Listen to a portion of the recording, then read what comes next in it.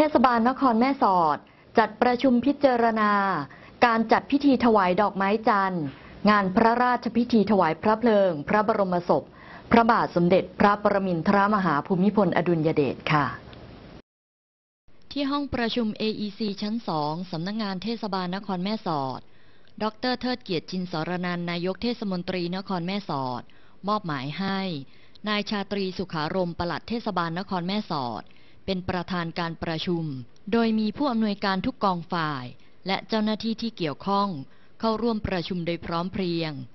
ระเบียบวาระการประชุมประกอบไปด้วย เรื่องที่ประธานแจ้งให้ที่ประชุมรับทราบ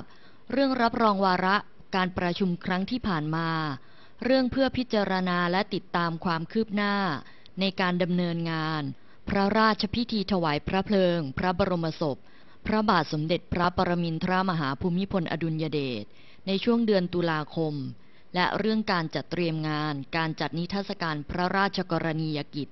ของพระบาทสมเด็จพระปรมินทรมหาภูมิพลอดุลยเดชตลอดระยะเวลา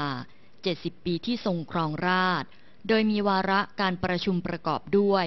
เรื่องงบประมาณในการดำเนินงาน พระราชพิธีถวายพระเพลิงพระบรมศพ พระบาทสมเด็จพระปรมินทรมหาภูมิพลอดุลยเดช กรอบเวลาในการลงพื้นที่ดำเนินโครงการ เรื่องการจัดซื้อจัดจ้าง ในการดำเนินโครงการ และการลงทะเบียนจิตอาสา งานพระราชพิธี ถวายพระเพลิงพระบรมศพ พระบาทสมเด็จพระปรมินทรมหาภูมิพลอดุลยเดช โดยจิตอาสาสามารถติดต่อสมัครได้ที่ ที่ว่าการอำเภอทุกจังหวัด